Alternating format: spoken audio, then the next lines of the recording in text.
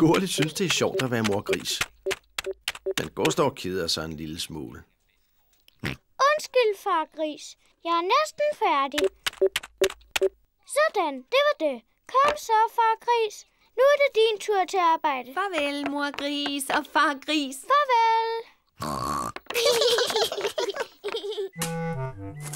Far Gris er i gang med at grave have. Hej Gurli. Hej Gustav. Gurli. Jeg er mor gris. Og det her er far gris. Far gris er kommet for at bestille noget. Det er virkelig pænt af dig, far gris. Men pas godt på. Det er et meget dybt hul. Jeg håber ikke, du graver i dit allerpæneste tøj, far gris.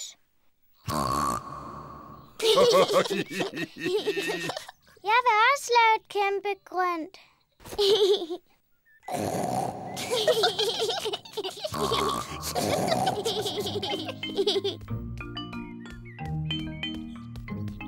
Isvafler til alle. Isvafler. Gurli, Gustav, I er nødt til at tage det mudrede tøj af, før I spiser. Jeg er mor gris, og det der er far gris. Er du sikker? Ja, Men hvor er Gurli og Gustav? det ved vi ikke. Åh, det var godt nok ærgerligt, for jeg står her med deres yndlingsis. Men hvis vi ikke kan finde dem, så... Her er vi. Gurli, Gustav! Nå, det er I! Ja, mor. Vi lod bare, som om vi var dig og far. Der snød I os virkelig.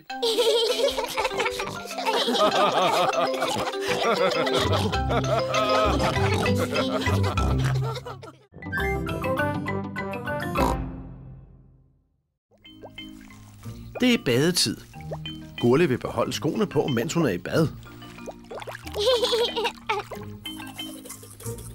Gurli har taget nattøj på, men hun har stadig ikke taget de nye sko af. Gurli vil endda have de nye sko på i seng. Gurli, er du sikker på, at du ikke vil have skoene af? Jeg vil aldrig nogensinde tage mine nye sko af, mor. Ja, ja da. Godnat, Gurli og Gustav. Godnat, mor. Godnat, far. Godnat, mine små grise.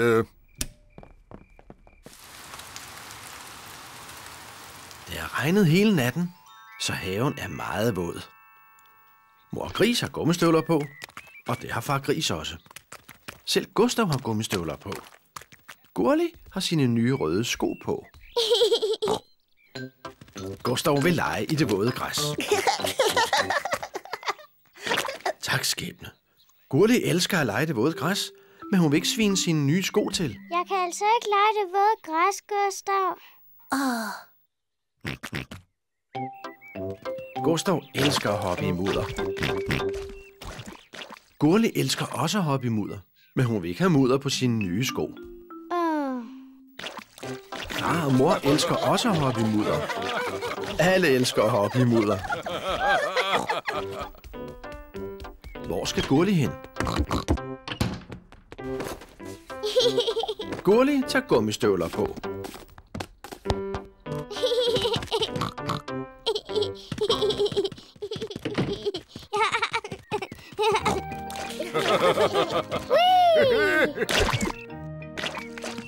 Hvis man skal hoppe i mudder, er man nødt til at have gummistøvler på.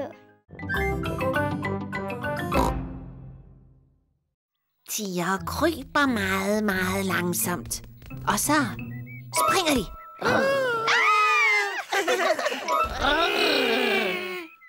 Tiger vasker sig ligesom katte gør. Men det allerbedste, når tiger er glade, så spinder de. Hej, unger. Du godeste. Sikke en flok tiger. Og jeg lærer dem, hvordan man er en rigtig tiger. Hvad har sådan en flok tiger lyst til at prøve? Dinosaurus. Nå ja, vi skal have en dinosaurusballon til Gustav. I kan alle sammen få en ballon. Goddag, fru Gazelle. Vi vil gerne have nogle balloner, tak. Så gerne. Jeg har mange forskellige slags. Må jeg bede om en elefantballon? Værsgo, Gurli. Må jeg bede om en kanguru? En løve, tak. En abe, tak. En papegøje, tak. Ja, dem har jeg faktisk. Og aller, aller vigtigst, en dinosaurusballon til Gustav. Åh oh, nej. Jeg har vist desværre ikke nogen dinosaurusballoner.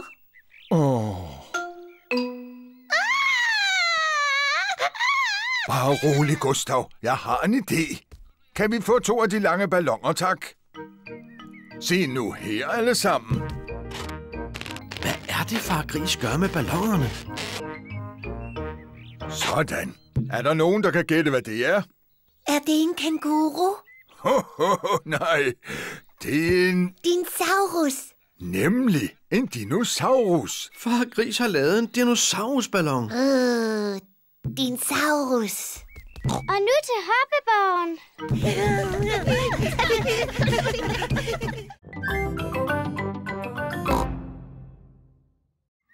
Jeg havde helt glemt, hvor hårdt det er at have fødselsdag.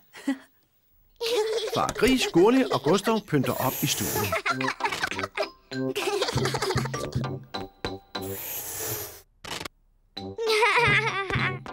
Hvor er det sjovt. Bedstemor Gris og bedstefar Gris kommer for at fejre mor Gris. Tillykke med fødselsdagen, mor Gris. Vil du ikke med indenfor? Jeg må ikke komme ind endnu. Far Gris, Gurli og Gustav laver hemmelige ting til min fødselsdag. Hvor herligt. Vi ses om lidt. Hej hej.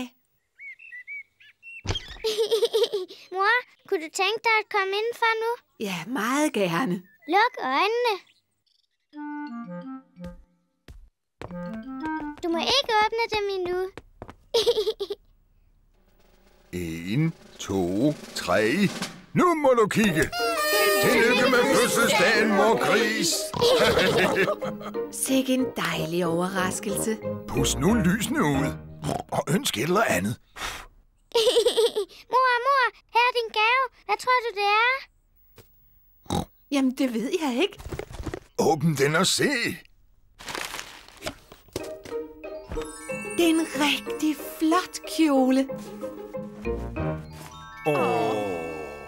Hvor er du bare flot, mor. Nu mangler du bare en anledning til at tage den på. Hvad er det? To billetter til teatret i aften. Tusind tak. Mor Gris elsker at komme i teatret. Og bedstemor Gris og jeg skal nok passe smågrisene. Sikke en dejlig fødselsdag. Jeg er da bare verdens heldigste mor. Du er i hvert fald den smukkeste.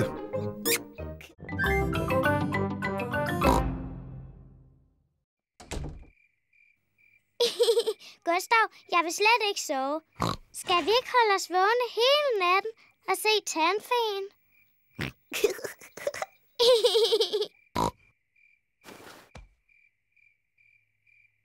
Jeg tror, at tandfeen kommer for sent.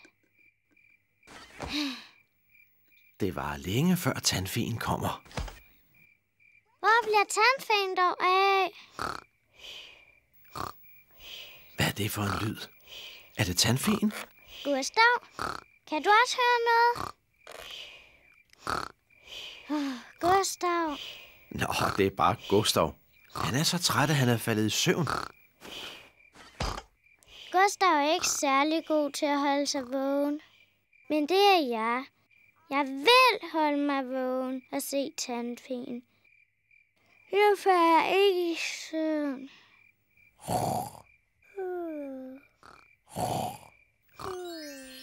Nu kommer tandfeen. Men Gurli er faldet i søvn. Hej, Gurli Gris. Kunne du tænke dig en mønt i stedet for din tand? Sikke en pæn og ren tand. Tak, Gurli. Godnat.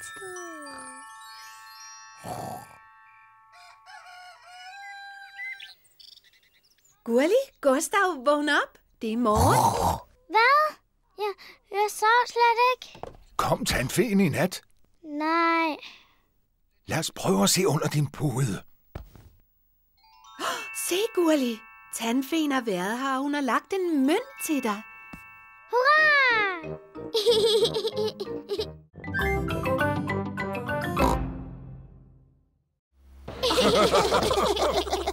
Hvad gør den blå knap så? Aner det ikke. Lad os se.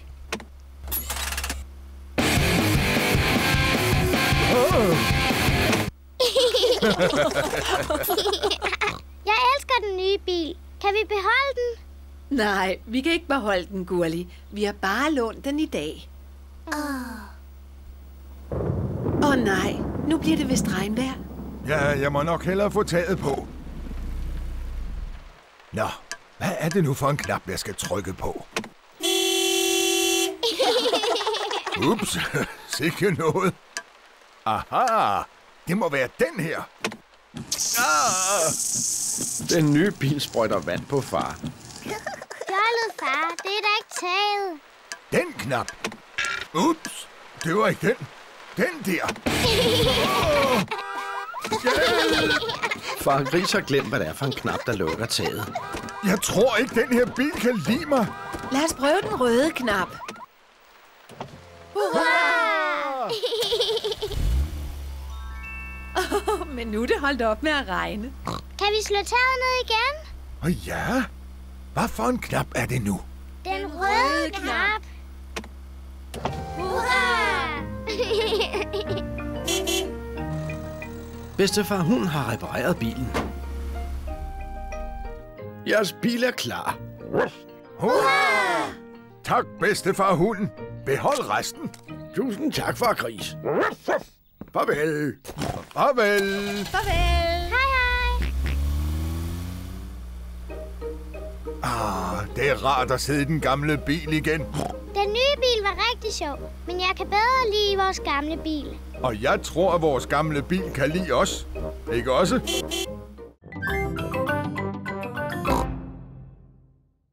Her er flasken. Det var flot, Gurli. Lad os se, hvad der står i brevet. Åh, oh, det er en besked fra en pirat. Mor, kan du læse piratens besked? Piraten har en ret dårlig håndskrift. Piraten har en glimrende håndskrift. Jeg kan altså ikke læse, hvad der står. Der står der helt tydeligt, følg pilene. Følg pilene. Gustav har fundet det næste spor. Pinde, der ligner pile. Se, vi skal den vej.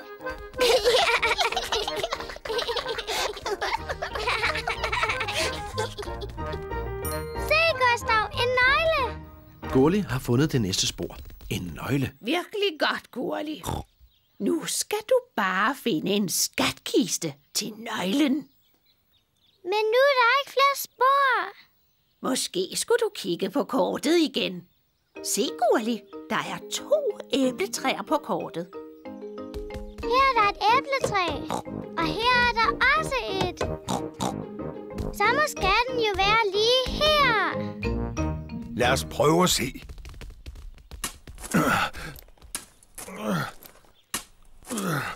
Åh oh, nej, det ser ikke ud til, at der er noget. Øjeblik, der er noget dernede. Wow, skatten. Jeg har nøglen til skattekisten. Wow, helt utroligt. Guldmønter. De må være en formue værd. Det er faktisk endnu bedre. Det er ikke guldmønter. Det er chokolademønter. Og der er en chokolademønt til hver.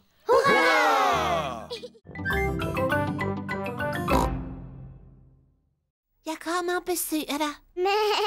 Jeg tager sygeplejerskekostymen på. Frida får kommer for at besøge Gurli. Frida har taget sit sygeplejerske kostume på. Herlef Hund og Karina Kanin er også med. Hej, Gulli. Hej, hej. Hvordan har du det? Jeg har det altså ikke så godt, Frida. Jeg er nødt til at ligge i sengen. Er der noget, vi kan gøre for dig? Gider du hente noget appelsinjuice? Okay. Det ser ud til, at Gurli nyder det hele. Tusind tak, Frida. Har du det bedre nu, Gurli? Ja, lidt måske. Herluf? Spørg lige mor, om jeg må få noget is. Og Karina, Gider du ikke hente nogle blomster ude i haven? Dr. Bjørn kommer for at se, hvordan Gurli har det. Åh, oh, godt. Sygeplejersken er her allerede. Hvordan har patienten det? Øh, jeg er ikke sygeplejerske. Det er bare noget, vi leger. Ah, ja vel. Vil du gerne have mig til at se på patienten? Ja, tak. Nå da da. Ikke flere røde prikker. Du har det meget bedre. Er jeg ikke bare lidt syg? Hvad føler du selv? Jeg må nok hellere blive liggende lidt endnu. Jeg har lyst til at spille et eller andet med bolden ude i haven.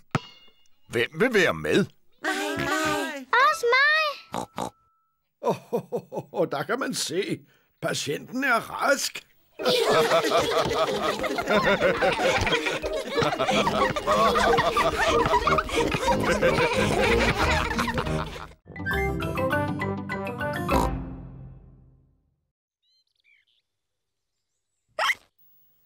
Gurlis hækkekur virker vist ikke. Gustav, du gjorde det helt forkert. Jeg kender en bedre kur mod hække. Først skal du hoppe op og ned tre gange på et ben. Så skal du vifte armene op og ned og stikke tungen ud.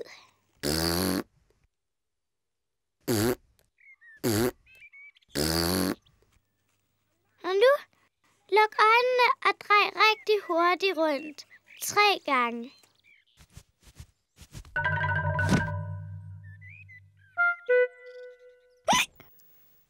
Gurlis nye kur virker heller ikke. Gustav har stadig hække. Jeg har det. Man kan kurere hække ved at give den hækkende gris et chok. Gustav, jeg forskrækker dig lige, men du må huske på, at det bare er en leg, og at det kan kurere din hække. Husk nu, det er kun noget, vi lader som om.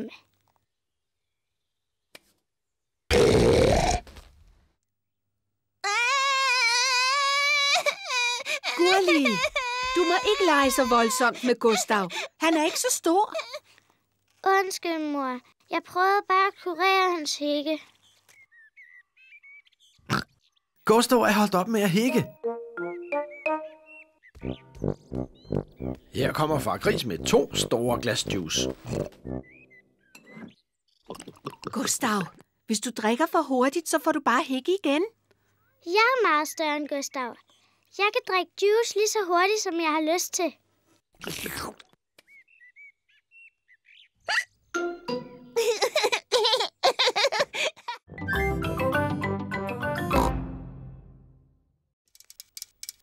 Åh! Det er ikke spor sjovt. Det er faktisk ikke så nemt at køre uden støttehjul. Vil du have hjælp, Gurli? Ja, far. Meget gerne. Okay. Klar. Parat. Kør! Du må ikke slippe, far. Bare rolig. Jeg har dig. Ej, det går rigtig, rigtig godt, Gurli. Hold fast, far. Bare brug pedalerne. Gurli kører helt selv, uden støttehjul.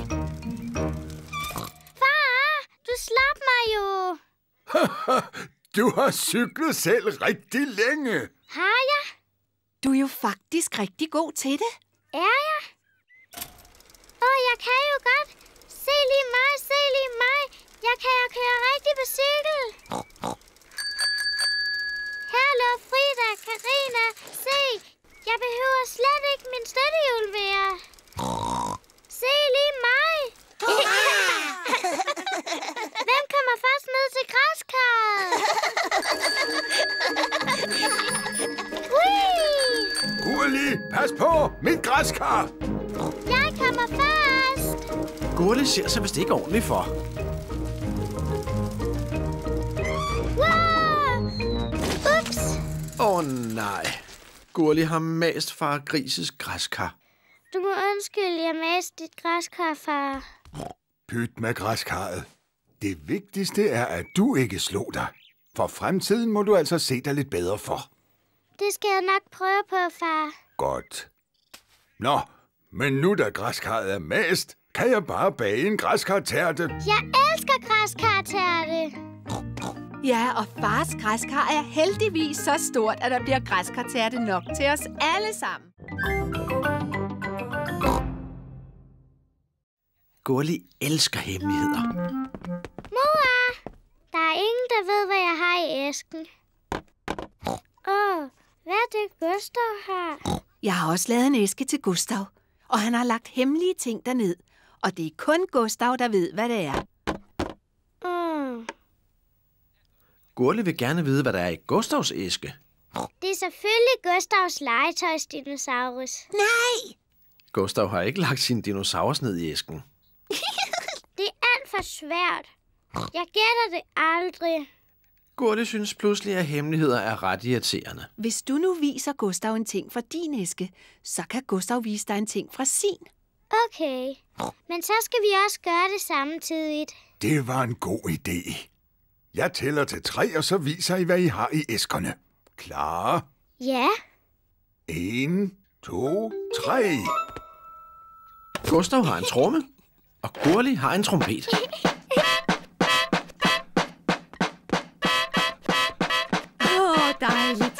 Ja, det lyder virkelig godt. Har I flere hemmelige ting? Gustav har en lækker kage, Åh, oh, men Gurlis æske er tom. jeg har ikke andet. Nå, men det har jeg. Værsgo, bare tag. Gustav, Gurli, mor gris og far gris kan rigtig godt lide kager. Jeg har ikke nogen hemmelig æske. Men jeg ved godt, hvor jeg vil gemme min kage. Kan I gætte hvor? Vil du gemme den i øh, køleskabet? Nej, det er et ganske særligt sted. Min mave. Lækkert. Jeg vil også gemme min småkage i min mave. Også jeg.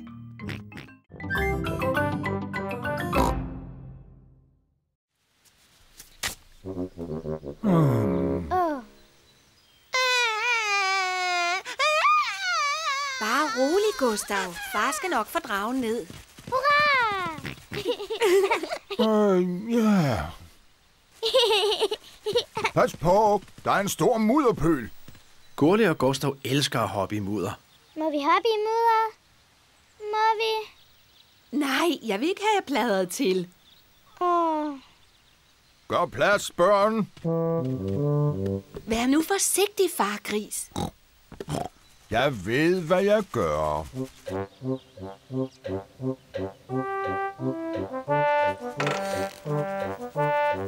Vær nu forsigtig. du er der næsten, farmand. Far gris, du er alt for tung til den gren. Sluder. Jeg ved lige præcis, hvor tung jeg er. Sådan. Far gris har reddet dragen. Oh! Åh oh, nej, nu bliver de alle sammen dækket af mudder. Det er bare mudder. Far gris er heldigvis ikke kommet til skade. Og han har fået dragen fri. Mor, når vi nu alle sammen er helt beskidte, må vi så ikke godt hoppe i mudder? Jo, det må I vel. I kan alligevel ikke blive mere snavset. Og jeg tror, det er far gris, der vasker i dag. Åh. Oh.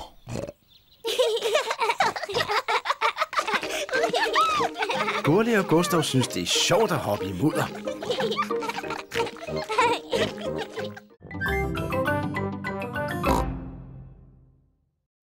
Mor, vi har jo noget jordbærkage. Jamen, hvis der er mere kage tilbage, så må I godt give det til enderne. Alle er vilde med mor gris hjemmelavede jordbærkage. Åh, oh, en veps. Jeg hader vepse. Væk. Sikkert på styr, mor gris. Det er jo bare en lille veps. Gå væk, veps. Bare stå stille, mor gris. Så flyver den sin vej. Der kan du bare se. Man skal bare stå helt stille. Hey, forsvind! Væk! Wow! Hjælp! Wow! Væk! Få den væk! Wow! Jeg håber ikke, vepsen stikker far.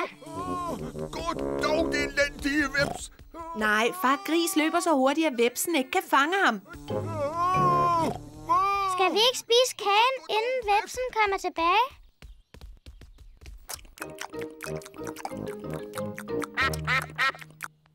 Åh oh, nej, vi glemte at lave noget til ænderne. Jeg tror, jeg slap fra den. Du sagde godt nok, du ville tage dig en løbetur, far Gris. Men jeg troede ikke, du ville gøre det. Det var godt, jeg ikke tabte mit stykke jordbærkage. Stop, far! Vi har lovet ænderne et stykke kage. Åh, I er nogle heldige ender. Kan I sige tak til far Gris? jamen velbekomme da. Ho, ho. Vi skal til at hjemad. Kan I sige farvel til ænderne? Hej, hej, ender. Vi ses en anden gang.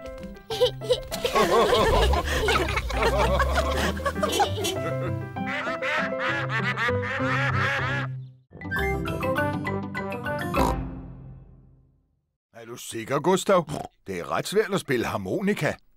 Gustav, harmonikoen er næsten lige så svær at spille på, som på mine trommer.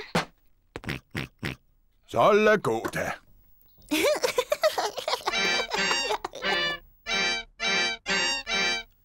Åh, Måske er Gustav lidt for lille til at spille harmonika. Far, er der andre instrumenter nede i æsken? Kun det her horn. Må jeg prøve? Ja, men du skal puste alt, hvad du kan.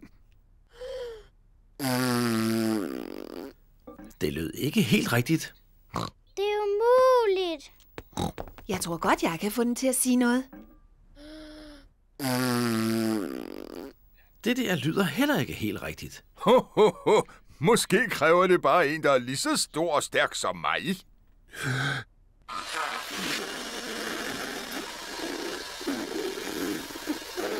Det lyder nu heller ikke helt rigtigt.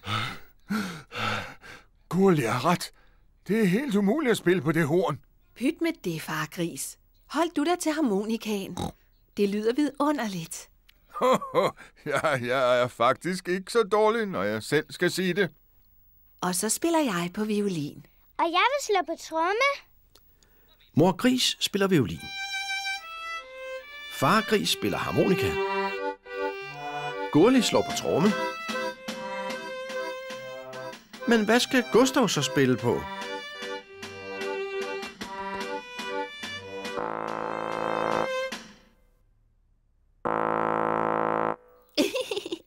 Gustav spiller på horn. Mor kunne ikke spille på hornet, og det kunne far heller ikke. Ja, og jeg kunne heller ikke. Men Gustav, han kan spille på det.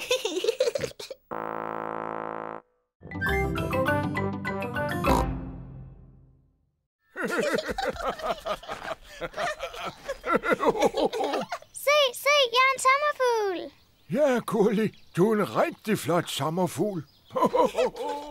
Bedstefar, Gustav, hvad laver I? Vi er vrikkende orme. Jeg vil også være en vrikkende orm. Jeg er en vrikkende orm. Jeg er en vrikkende orm. Jeg er en vrikkende orm. Jeg er en vrikkende orm. Her kommer jeg. Jeg elsker dig. Jeg er en vrikkende orm. Det var sjovt. Hvad for et dyr kunne I så tænke jer at være nu? Hmm, det ved jeg ikke. Se, bedstefar. Der er en lille frø. Hvorfor leger I ikke, at I er frøer? Hmm, frøer er hverken så pæne som sommerfugl, eller så vrikkende som orme. Men frøer leger faktisk noget, som I godt kan lide. Hmm, leger frøer med dukkehuse? Ho, ho, ho, ho. Lille fjollehoved, hvad er det bedste, du ved? At hoppe i mudder. Ja, frøer elsker at hoppe i mudder. Kom, Gustav. Vi skal lege frøer. Jeg er en lille frø. Jeg er en lille frø.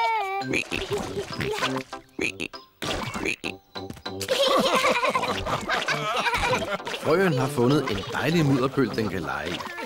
Gurli og Gustav elsker at hoppe op og ned i mudder. Alle elsker at hoppe op og ned i mudder.